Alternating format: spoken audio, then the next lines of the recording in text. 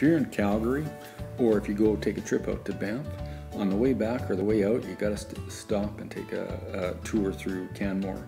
Uh, Canmore is the um, 11th uh, big biggest town in uh, Alberta, and it's located about 81 kilometers uh, west of Calgary, and it's just near the park border. It's it's a 20 minute drive or so to the Banff town site.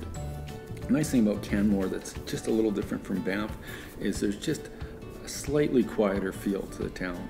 Uh, so the town seems to be in a little more slow motion than than Banff. There's year-round activities. You can mountain bike. There's hiking, great hiking.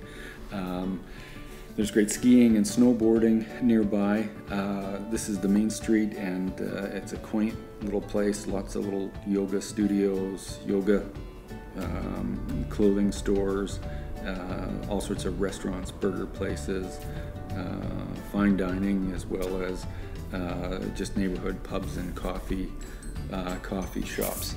Now, in 1965, Canmore had a population of about 2,000 people, and that was when it was incorporated as a town. But in 1988, um, the world saw Canmore, and uh, the Calgary had the Olympics, and more venues were built in Canmore to to um, accommodate the 1988 Olympics, and uh, the world got to see how beautiful Canmore is. So it's a great place, and about an hour drive west of Calgary, and you can see all this beauty.